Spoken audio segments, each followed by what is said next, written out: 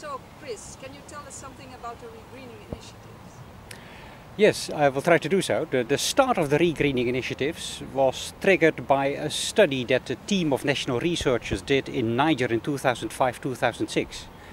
They looked at the long-term trends in agriculture and environment in Niger, so what had changed in the last 30 years since 1975. And they found a large-scale regreening in Niger um, at a scale of 5 million hectares, farmers had begun to protect and to manage on-farm natural regeneration. So in Niger in 2005 we had about 200 million more trees on farm than was the case in, um, in 1985. So we started then looking in some other countries like Mali and in uh, Burkina Faso to see whether farmers had also protected spontaneous natural regeneration.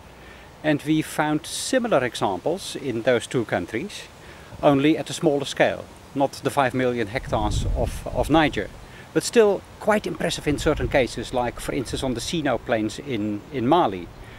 Um, the thought then emerged that why not try to develop an initiative which will try to scale up the existing successes. How can you build on existing successes and expand their scale?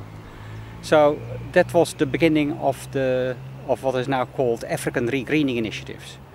And uh, the African Regreening Initiatives became operational in, uh, in June 2009 based on uh, private sector funding. It is now expanding to Niger and to Ethiopia. Now, how do you expand the scale? One of the ways to do so is simply put farmers in buses and bring them to farmers who have already protected and managed their on-farm trees. There is another way to do it, and that is, for instance, uh, get farmers to share information using modern communication technologies like rural radio, uh, mobile phones, but also internet.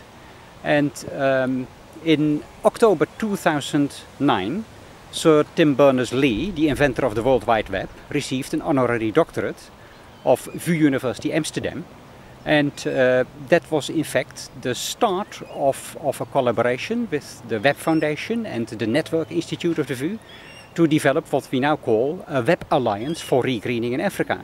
So it's not only a matter of putting farmers in buses and trying to adapt policies and legislation, but also using modern communication media so farmers can use those to start sharing information about regreening between them and also use use the, the, the web as a way of informing uh, staff involved in, uh, in regreening uh, to share information.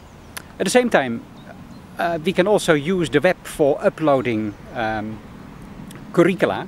So uh, we can use the, the, the, web also as a tool for, for education. Um, there are many possibilities to, uh, to, you, to, to upscale existing successes. So this is a short summary of what is possible.